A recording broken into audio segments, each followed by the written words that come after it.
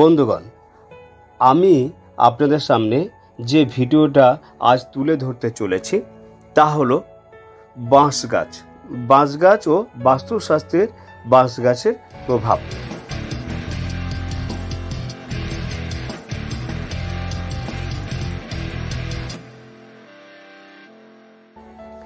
বাস্তুশাস্ত্র অনুসারে বাঁশ গাছকে সৌভাগ্যের প্রতীক ও শুভ বলে মনে করা হয়। এবং মনে রাখবেন ফেংশুই এইটা বিশ্বাস করে যে বাড়িতে এবং অফিসে বাঁশের গাছ রাখলে সেই বাড়ির সদস্যদের সৌভাগ্য লাভ হয়ে থাকে। সম্পদ বাড়ে, ভাগ্যর পরিবর্তন হয়। এই বাঁশ গাছগুলিকে সময় উপযুক্ত অনুসারে বাঁশ গাছকে বাড়ির প্ল্যান্ট হিসাবে বাড়ির মধ্যে রাখার জন্য উপযুক্তভাবে রোপণ করা হয়ে থাকে। আমরা জানি বাঁশ গাছ বিভিন্ন আকারের, বিভিন্ন প্রকারের পাওয়া যায়। ছোট ছোট বাঁশ গাছগুলিকে একত্রে সাজিয়ে লাল সুতো দিয়ে বেঁধে বাড়ির ভিতরে রাখার উপযুক্ত করে তুলতে দেখা যায়। শুধু তাই নয় একটি কাঁচের পাত্রে জল দিয়ে ওই বাঁশ গাছ রেখে তার চারিপাশে কিছু নুড়ি কালারফুল নুড়ি দিয়ে আপনি রাখতে পারেন। এতে হবে কি?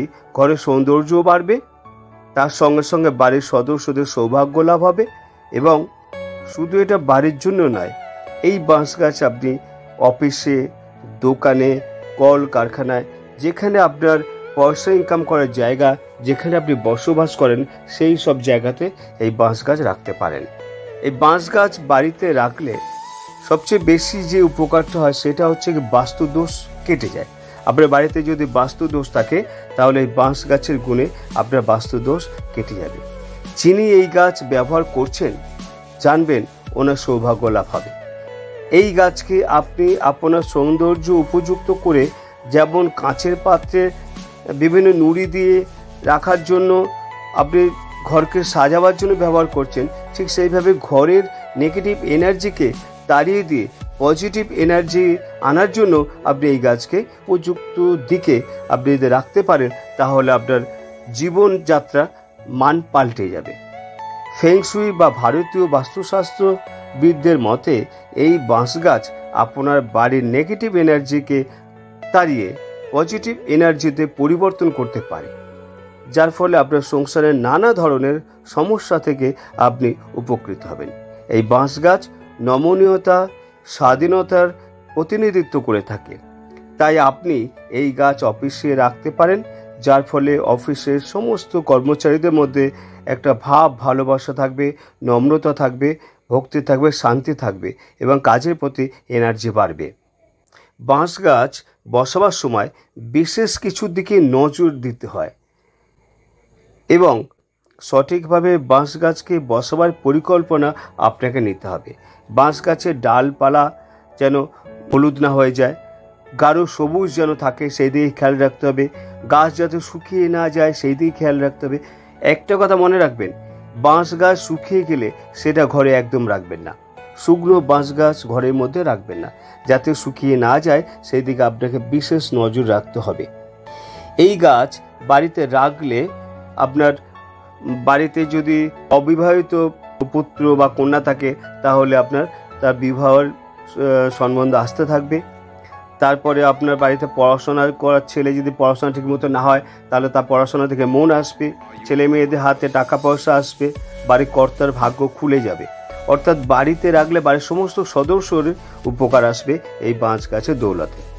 একটা কথা মনে রাখবেন চারটি বাঁশ গাছ একত্রে করে কাউকে উপহার দেবেন না। কারণ এটি মৃত্যুর ইচ্ছাকে বোঝায়।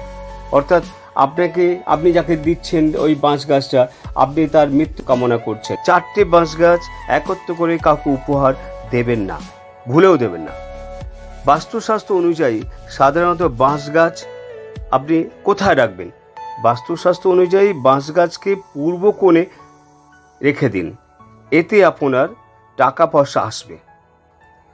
যদি আপনি ভাগ্যকে আমন্ত্রণ জানাতে চান, তাহলে দক্ষিণ পূর্ব দিকে কোণে রাখতে পারেন।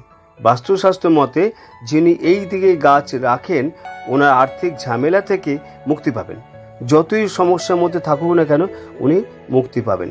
হাতে অর্থ আসবে, ধন দৌলত হবে, এবং এটা বিশ্বাস করা হয় যে ওই ভদ্রলোক একসময় বড় লোক হয়ে যাবে।